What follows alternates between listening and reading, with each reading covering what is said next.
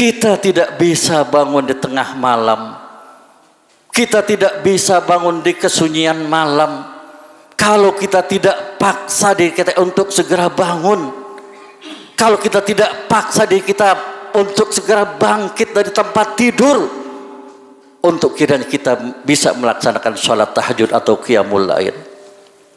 Dan bahkan mungkin kita tidak bisa melaksanakan sholat subuh secara berjamaah kalau kita tidak paksa diri kita untuk segera bangun, untuk segera bangkit, untuk segera berangkat menuju masjid atau musola untuk kita melaksanakan sholat subuh secara berjamaah.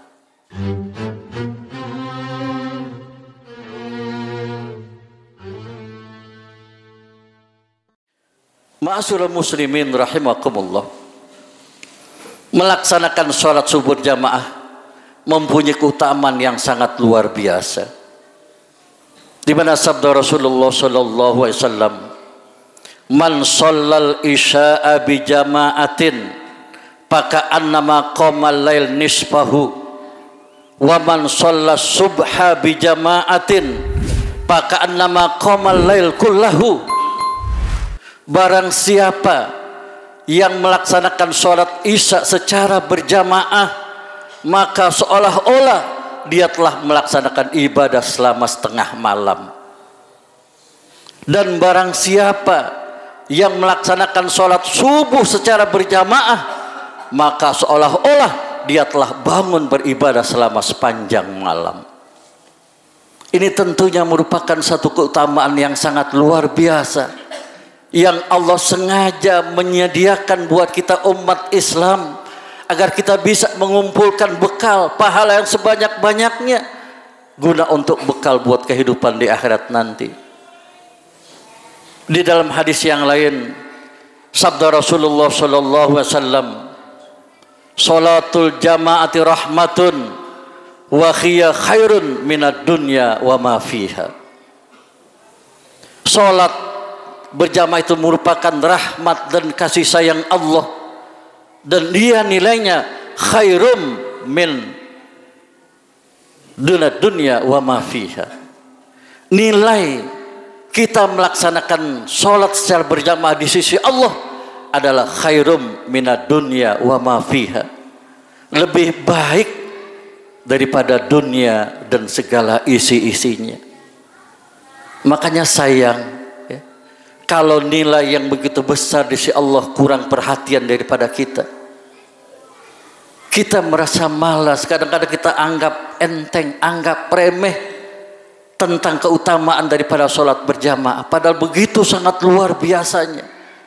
Dan mudah-mudahan momentum daripada Ramadan ini, di mana kita banyak jamaah yang melaksanakan sholat isya dan sholat subuh berjamaah, hendak lagi kita berusaha kita jaga dan kita pelihara setelah Idul Fitri nanti akan kita akan tetap berada di masjid, berada di musola untuk melaksanakan sholat secara berjamaah, baik itu subuh, isya, maghrib dan yang sebagainya.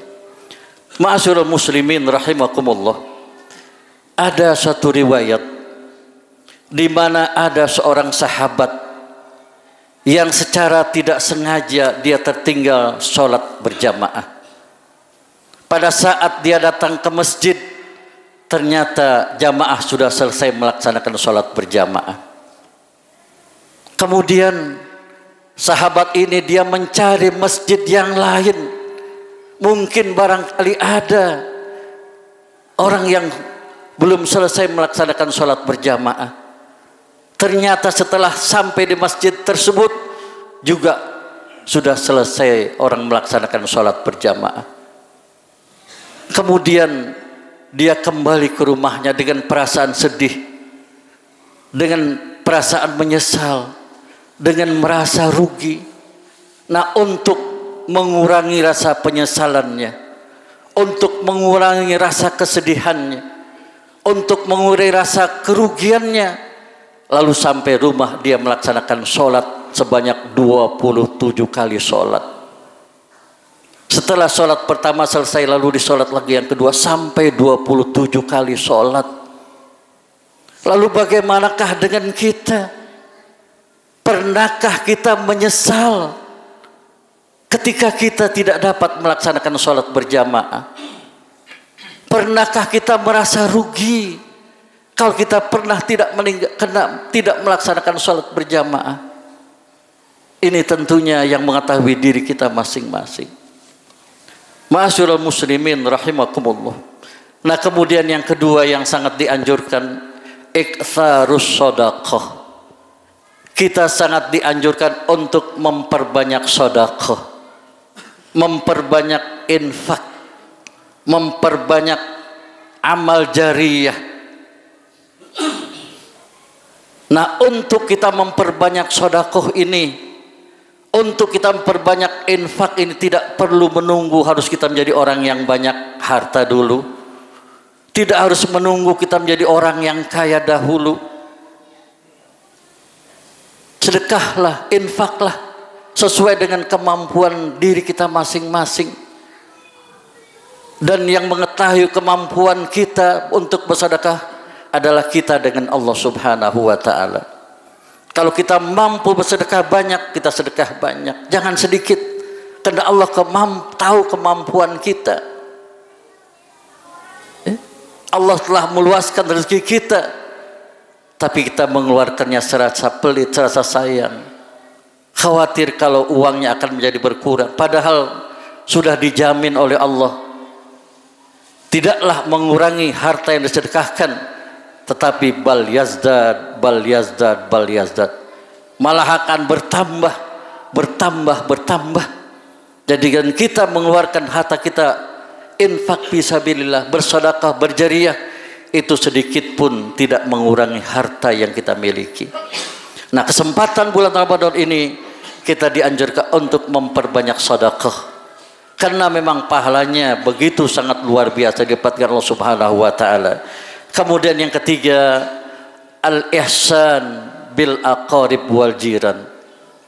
Kita dianjurkan untuk banyak-banyak berbuat ihsan, banyak-banyak berbuat baik, banyak-banyak membantu, banyak-banyak menolong kepada keluarga kita kepada tetangga-tetangga kita, kepada saudara-saudara sama muslim. Sebab orang yang membantu menolong kesulitan orang lain di bulan Ramadan ini sungguh sangat luar biasa keutamaan si Allah Subhanahu wa taala. Di mana sabda Rasulullah SAW, "Man qada li akhil muslimi hajatan fi Ramadan, qadallahu lahu alfa hajatin yaumal qiyamah." Barang siapa yang membantu menolong kesulitan baik itu keluarganya, baik itu tetangga-tetangganya, baik itu sesama muslim, satu hajat, satu keperluan di dalam bulan Ramadan ini, maka Allah akan membantu, Allah akan menolong kesulitnya seribu kesulitan di yaumil kiamah nanti. Oleh karena itu ini kesempatan emas buat kita kalau kita merasa mampu, kita ada kemampuan lebih-lebih lagi di saat sekarang ini di mana banyak saudara-saudara kita yang merayakan Idul Fitri ini banyak mengalami kekurangan, kesulitan ekonomi. Kalau kita mampu, tidak harus mesti mereka datang ke rumah kita. Kita berikan pertolongan, kita berikan bantuan, Barangkali untuk anak-anaknya yang belum punya pakaian untuk lebaran, untuk Idul Fitri kita bantu, kita tolong. Alangkah gembiranya mereka. Dan ini kita utamakan dari keluarga kita dulu sendiri. Kemudian kepada tetangga-tetangga kita. Kemudian baru kepada sesama muslim. Jangan sampai kita lebih mengutamakan membantu orang lain tapi banyak saudara-saudara kita sanak famili kita yang masih membutuhkan kemudian kita tidak membantu kita lebih memilih orang lain ini agama tidak mengajarkan yang seperti itu justru dari keluarga dan itu kalau kita membantu keluarga kita maka kita akan mendapatkan ganjaran dua kali lipat daripada kita membantu orang lain. Masyurul muslimin rahimakumullah. Nah tentunya masih banyak lagi keutamaan-keutamaan yang ada di dalam Ramadan ini. Dan tentunya mari kita berusaha untuk mengisi bulan Ramadan ini dengan sebaik-baiknya. Kita tingkatkan amal dan ibadah kita. Kita tingkatkan infak dan sodakoh kita. Kita tingkatkan bantuan dan menolong orang-orang. Yang tentunya semuanya itu adalah keuntungannya. Bukan untuk orang lain. Tapi adalah untuk diri kita sendiri. Nah mudah-mudahan Allah senantiasa memanjangkan umur kita. Memberikan kesehatan kita meruahkan keluhan rezeki kepada kita sehingga kita betul-betul bisa mengisi dan memanfaatkan bulan Ramadan dengan sebaik-baiknya. Amin amin ya rabbal alamin. A'udzubillahi minasyaitonirrajim. Syahrul Ramadan alladzi unzila fihil Qur'an hudal linasi wa bayyinatin minal huda wal furqan. Barakallahu li wa lakum fil Qur'anil azim. Wa nafa'ni wa iyyakum fihi minal ayati wa dzikril hakim. Wa taqabbala minni wa minkum tilawata innahu sami alim. Aqulu qawli hadza wa astaghfiru lakum wa li sa'ilil muslimina wal muslimat wal mu'minina wal mu'minat. Fastaghfiruhu innahu huwal ghafurur rahim.